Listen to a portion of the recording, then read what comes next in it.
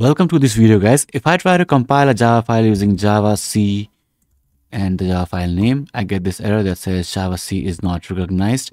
Now this is because Java is not added to environment variables yet. So let's go ahead and do this. Now a prerequisite for this is you must have Java already installed. If you don't have Java installed, check the link in the description. It will show you how you can install Java. And if you're sure you installed Java but you're still getting this error, let's go ahead and fix this. First, go to your Java installation directory. So basically it's inside C drive, inside program files, inside the Java folder, and I'll choose JDK23, go inside bin and copy this path.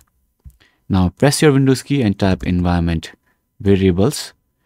Go to environment variables, double click on this path and double click at the bottom here and paste it. Click OK.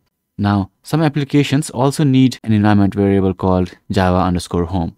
So go ahead and copy this path also without the bin. All right. This time copy it without the bin. Go to your environment variables. And this time don't go inside paths that we have already done. What you need to do is click on new here and name the variable java home and enter this value. Click OK. Click OK again. Click OK again. Now you can close this. And let's try to run this command again. Sorry, first you need to close command prompt and start it again. Okay let's run the command again. javac. Hello world. Okay let me first go to the directory where we have this file that is inside desktop. And now let's run this command again. Hello world.java and this time as you can see the file is compiled and I don't get any error.